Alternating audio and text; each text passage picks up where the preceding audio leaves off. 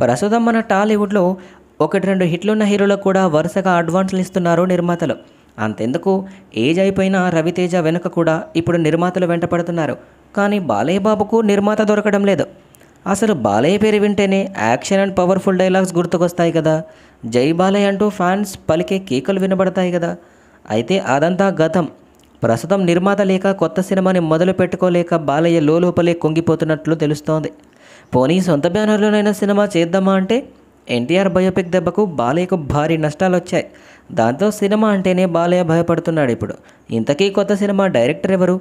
కథేమిటి? అంటే dashing director Puri Balayya Babu కోసం ఓ డిఫరెంట్ కథ రాశాడు. పల్నాటి ప్రాంతానికి చెందిన బ్రహ్మనాయుడు కాలం నాటి కథ అన్నమాట అది.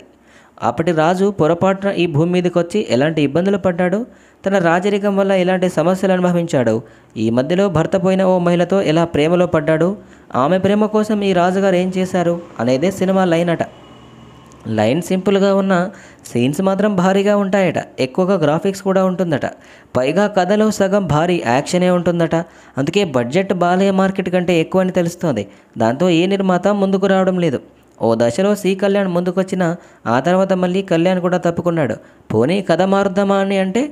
పూరి అంటే కథ బాలయ్యకు బాగా నచ్చింది. అందుకే నిర్మాతను తెచ్చే పని బాలయ్య చూసుకుంటున్నాడట. ఈ క్రమంలో అందరికీ ఫోన్ చేసి ఆరా తీస్తున్నారట. బాలయ్య ఇండైరెక్ట్గా మీకు డేట్స్ ఇస్తాను అని చెప్పిన ఏ నిర్మాత రియాక్ట్ అవ్వడం లేదట. పాపం బాలయ్య. బాలయ్య పూరి కాంబినేషన్లో గతంలో పైసా వసూలు అనే ఫ్లాప్ చిత్రం వచ్చింది. ఆ చిత్రం ఆశించిన విజయాన్ని కాదు కదా కనీస విజయాన్ని కూడా అందుకోలేక భారీ నష్టాలు మిగిలించింది.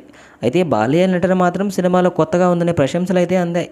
కాకపోతే రెగ్యులర్ ప్రేక్షకులకు ఆ నటన నచ్చలేదు. అందుకే ఏ నిర్మాత ఈ కాంబినేషన్పై భారీగా ఖర్చు పెట్టడానికి రావడం లేదు.